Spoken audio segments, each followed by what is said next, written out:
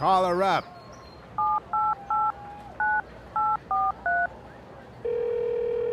Hello? Hello?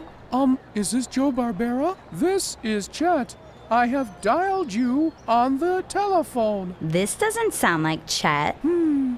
Oh, I have an awful pain in my cervix. Cough, cough. Oh, I'm so sorry to hear that, sweetie.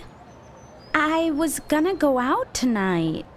I guess I won't see you at the club then. Yes, that sounds fun. You're blowing it. That doesn't seem like a good idea to me. Secret government agents have closed the club because the club is closed. Seriously?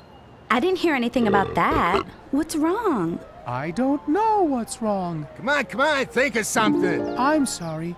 I have signed a confidentiality agreement. Come on, sweetie, you can tell me. The line's getting tight. Time to cut this one loose. I called to say that I like to eat my own boogers. And? And I'm engaging in sexual intercourse with Chet right now. As we are talking on the telephone. Hey, that's not supposed to go in there.